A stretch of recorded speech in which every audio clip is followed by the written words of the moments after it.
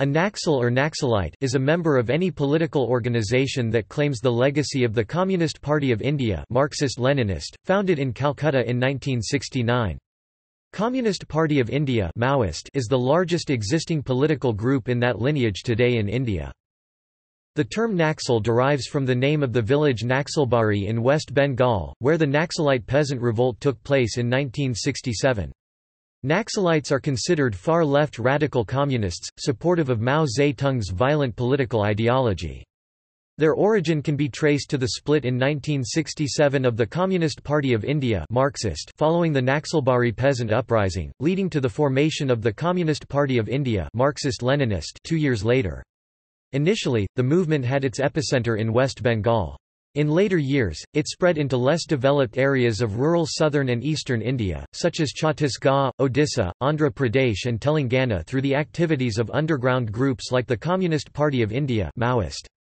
Some Naxalite groups have become legal organizations participating in parliamentary elections, such as the Communist Party of India Marxist-Leninist Liberation and the Communist Party of India Marxist-Leninist Janashakti. As of April 2018, the areas where Naxalites are most visible are Andhra Pradesh, Visakhapatnam Bihar, Aurangabad, Gaya, Jamui, Lakhisarai Chhattisgarh, Bastar, Bijapur, Dantewada, Kanker, Kondagaon, Narayanpur, Rajnandgaon, Sukma Jharkhand, Bokaro, Chatra, Garhwa, Giridih, Gumla, Hazaribagh, Khunti, Latehar, Lohardaga, Palamu, Ranchi, Simdega West, Singhbhum Maharashtra, Gadchiroli Odisha, Koraput, Malkangiri Telangana, Bhadradri, Kothagudem History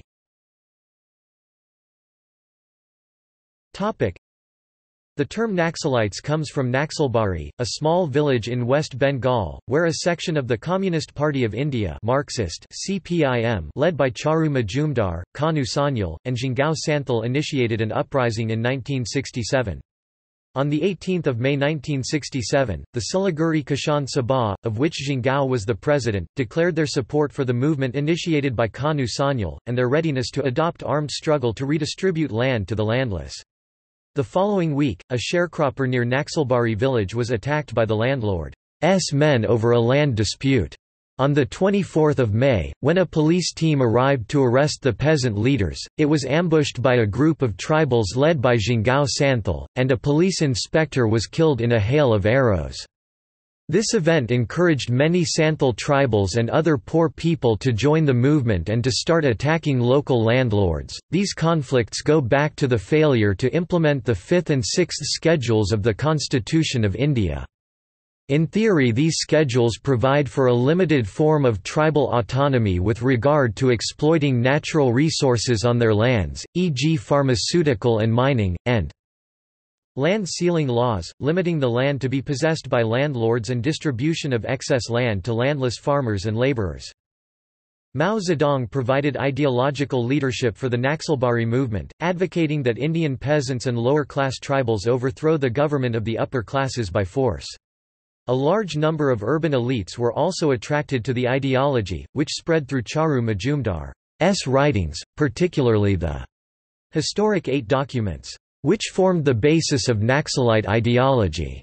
Using people's courts, similar to those established by Mao, Naxalites try opponents and execute with axes or knives, beat, or permanently exile them. At the time, the leaders of this revolt were members of the CPI-M, which joined a coalition government in West Bengal just a few months back.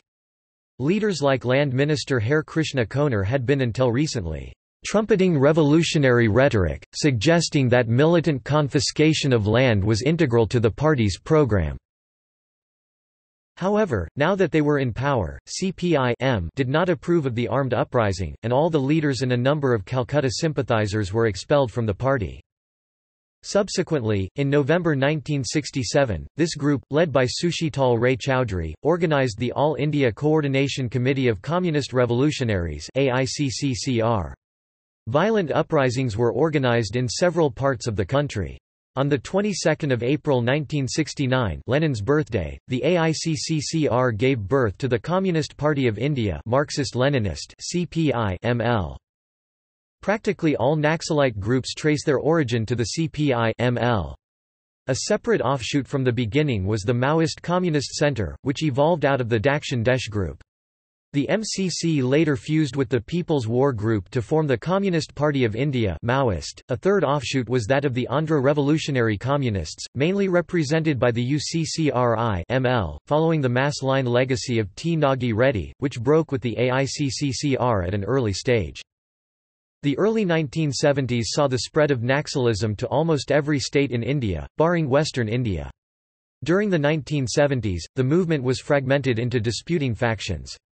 By 1980, it was estimated that around 30 Naxalite groups were active, with a combined membership of 30,000. Contention was over the development of minerals and raw materials in the area, and development of a paved road to transport them, along with the order the road brought. If the government could construct a road, the rebels would have lost, if the rebels could continue thwarting road development, the government would have lost. Violence in West Bengal Around 1971 the Naxalites gained a strong presence among the radical sections of the student movement in Calcutta. Students left school to join the Naxalites. Majumdar, to entice more students into his organization, declared that revolutionary warfare was to take place not only in the rural areas as before, but now everywhere and spontaneously. Thus Majumdar declared an annihilation line, a dictum that Naxalites should assassinate individual class enemies such as landlords, businessmen, university teachers, police officers, politicians of the right and left and others. The chief minister, Siddhartha Shankar Ray of the Congress Party, instituted strong counter-measures against the Naxalites. The West Bengal police fought back to stop the Naxalites. The house of Somen Mitra, the Congress MLA of Sealdah, was allegedly turned into a torture chamber where Naxals were incarcerated illegally by police and the Congress cadres. CPIM cadres were also involved in the state terror. After suffering losses and facing the public rejection of Majumdar S annihilation line, the Naxalites alleged human rights violations by the West Bengal police, who responded that the state was effectively fighting a civil war and that democratic pleasantries had no place in a war, especially when the opponent did not fight within the norms of democracy and civility. Large sections of the Naxal movement began to question Majumdar's leadership. In 1971 the CPI ML was split, as Satyanarayan Singh revolted against Majumdar's leadership. In 1972 Majumdar was arrested by the police and died in Alipore jail presumably as a result of torture. His death accelerated the fragmentation of the movement. Operation Steeplechase in July 1971, Indira Gandhi took advantage of President S rule to mobilize the Indian Army against the Naxalites and launched a colossal combined army and police counter-insurgency operation, termed Operation Steeplechase, killing hundreds of Naxalites and imprisoning more than 20,000 suspects and cadres, including senior leaders. The paramilitary forces and a brigade of para-commandos also participated in Operation Steeplechase. The operation was choreographed in October 1969, and Lieutenant General J.F.R. Jacob was enjoined by Govind Narain, the Home Secretary of India, that there should be no publicity and no records and Jacob's request to receive the orders in writing was also denied by Sam Manekshaw. Situation during 2000–2011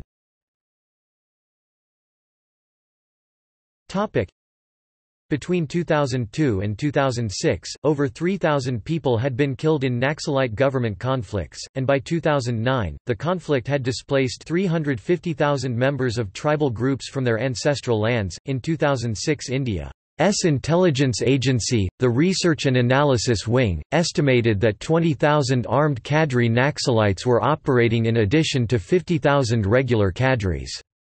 Their growing influence prompted Indian Prime Minister Manmohan Singh to declare them to be the most serious internal threat to India's national security. Naxalites, and other anti-government militants, are often referred to as ultras In February 2009, the Indian central government announced a new nationwide initiative, to be called the Integrated Action Plan IAP for broad, coordinated operations aimed at dealing with the Naxalite problem in all affected states namely Karnataka, Chhattisgarh, Odisha, Andhra Pradesh, Telangana, Maharashtra, Jharkhand, Bihar, Uttar Pradesh, and West Bengal. Importantly, this plan included funding for grassroots economic development projects in Naxalite-affected areas, as well as increased special police funding for better containment and reduction of Naxalite influence in these areas. In 2009, Naxalites were active across approximately 180 districts in 10 states of India. In August 2010, after the first full year of implementation of the national IAP program, Karnataka was removed from the list of Naxalite-affected states. In July 2011, the number of Naxalite-affected areas was reduced to 83 districts in nine states including 20 additional districts.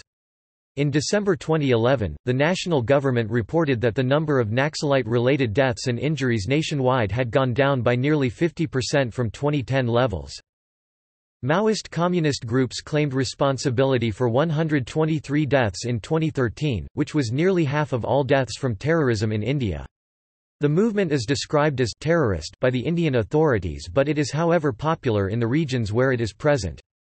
According to a study of the newspaper The Times of India 58% of people surveyed in the state of Andhra Pradesh, had a positive perception of the guerrillas, 19% against them. In a 2004 Indian Home Ministry estimate, their numbers were placed at that time at 9,300 hardcore underground cadre, holding around 6,500 regular weapons beside a large number of unlicensed country-made arms. In 2006, according to Judith Vidal Hall, Figures in that year put the strength of the movement at 15,000, and claim the guerrillas control an estimated one-fifth of India's forests, as well as being active in 160 of the country's 604 administrative districts. India's Research and Analysis Wing believed in 2006 that 20,000 Naxals were involved in the growing insurgency. Situation post-2010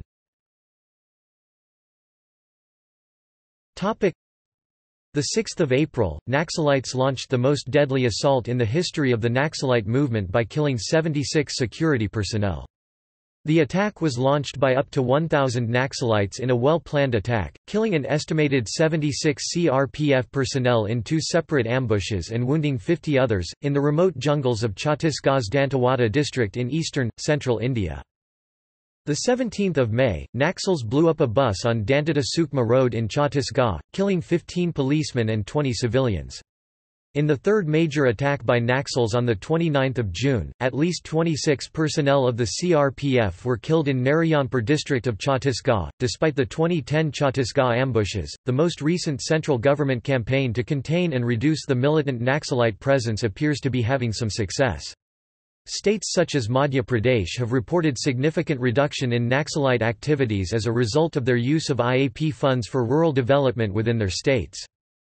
The recent success in containing violence may be due to a combination of more state presence, but also due to the recent introduction of social security schemes, such as NREGA. 2011 Late 2011, Kishenji, the military leader of Communist Party of India Maoist, was killed in an encounter with the Joint Operation Forces, which was a huge blow to the Naxalite movement in eastern India. March, Maoist rebels kidnapped two Italians in the eastern Indian state of Odisha, the first time Westerners were abducted there. The 27th of March, 12 CRPF personnel were killed on in a landmine blast triggered by suspected Naxalites in Gadchiroli district of Maharashtra. Topic 2013. Topic the 25th of May 2013, Naxalites attacked a rally led by the Indian National Congress in Sukma village in Bastar Chhattisgarh, killing about 29 people. They killed senior party leader Mahendra Karma and Nand Kumar Patel and his son while in the attack another senior party leader Vidya Charan Shukla was severely wounded and later succumbed to death due to his injuries the 11th of June. See 2013 Maoist attack in Darba Valley. Topic 2014. Topic the 11th of March 2014, Naxalites in Chhattisgarh ambushed a security team, killing 15 personnel, 11 of whom were from the CRPF. A civilian was also killed. The 1st of December 2014 Monday killed 14 CRPF personnel and 12 injured in South Chhattisgarh's Sukma district. Topic 2015 Topic the 11th of April 2015 to 7 Special Task Force STF personnel were killed in a Maoist ambush near Kankerlanka, Sukma, asterisk Chhattisgarh, 74. The 12th of April 2015 to 1 BSF Jawan was killed in a Maoist attack near Banday, Kanker, Chhattisgarh, 75. The 13th of April 2015 to 5 Chhattisgarh Armed Force CAF Jawans were killed in a Maoist ambush near Karandal, Dantewada, Chhattisgarh 76 Topic. 2016 Topic the 24th of October 2016 to 24 Naxalites were killed by Andhra Pradesh Greyhounds forces in encounter that took place in the cut-off area of remote Chitrakonda on Andhra-Odisha border. In November 2016, 3 Naxalites were killed near Karulai in an encounter with Kerala police. Naxalite leader Kuppu Devaraj from Andhra Pradesh is included in the list of killed in the incident. Late November, in Jharkhand, six Naxals were killed in a gun battle with Central Reserve Police Force CRPF commandos. The CRPF recovered 600 bullets of various caliber, about 12 IEDs, an INSAS rifle, an SLR, a carbine and three other guns. 2017 the 24th of April 2017, in the 2017 Edelbeta attack 25 CRPF officers were killed in encounter with 300 Naxals.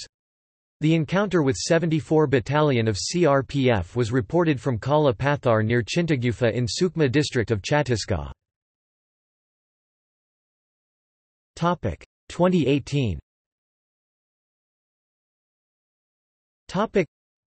the 13th of March 2018 to 2018 Sukma attack 9 CRPF personnel were killed and 2 injured after a powerful IED blast that destroyed their mine-protected vehicle in Sukma, Chhattisgarh. The 22nd of March 2018, at least 37 Naxalites were killed by police in a 4-hour gun battle on the border between Maharashtra and Chhattisgarh. Topic: Causes Topic. According to Maoist sympathizers, the Indian constitution ratified colonial policy and made the state custodian of tribal homelands, turning tribal populations into squatters on their own land and denied them their traditional rights to forest produce. These Naxalite conflicts began in the late 1960s with the prolonged failure of the Indian government to implement constitutional reforms to provide for limited tribal autonomy with respect to natural resources on their lands, e.g. pharmaceutical and mining, as well as pass land ceiling laws, limiting the land to be possessed by landlords and distribution of excess land to landless farmers and laborers. In scheduled tribes street areas, disputes related to illegal alienation of saint land to non-tribal people, still common, gave rise to the Naxalite movement. See also.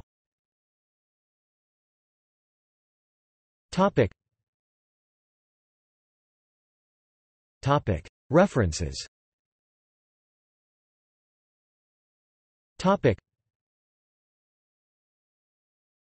Topic. Further reading Topic. Urban Naxals by Vivek Agnihotri, publisher, Garuda Prakashan Naxalite Politics in India, by J. C. Johari, Institute of Constitutional and Parliamentary Studies, New Delhi. Published by Research Publications, 1972. The Naxalite Movement, by Biplab Dasgupta, 1974. The Naxalite Movement, A Maoist Experiment, by Sankar Ghosh. Published by Firma K.L. Mukhopadhyay, 1975. ISBN 0-88386-568-8. The Naxalite movement in India, Origin and Failure of the Maoist Revolutionary Strategy in West Bengal, 1967–1971, by Sohail Jawaid. Published by Associated Pub. House, 1979. In the Wake of Naxalbari, A History of the Naxalite Movement in India, by Sumanta Banerjee. Published by Subarnarekha, 1980. Edward Duyker Tribal Guerrillas, The Santals of West Bengal and the Naxalite Movement, Oxford University Press, New Delhi, 1987, p. 201, SBN 19-561938-2 The Naxalite Movement in India, by Prakash Singh. Published by Rupa, 1995. ISBN 81-7167-294-9. V. R. Raghavan ed. The Naxal Threat, Causes, State Responses and Consequences, Publisher VIJ Books India Private Limited, ISBN 978-93-80177-77-9 Mary Tyler 1977. My Years in an Indian Prison. London, Victor Gollancz Limited. OCLC 3273743. Topic: External links. Topic: Status paper on the Naxalite problem, South Asia Terrorism Portal West Bengal, districts affected by Naxalite violence, South Asia Terrorism Portal Articles and research reports on Naxalite violence in India and Pakistan. History of Naxalism. Hindustan Times, 15 December 2005. Archived from the original on 8 February 2011.